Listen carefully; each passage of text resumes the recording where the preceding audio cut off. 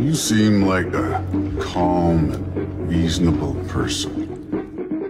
Are you a calm and reasonable person?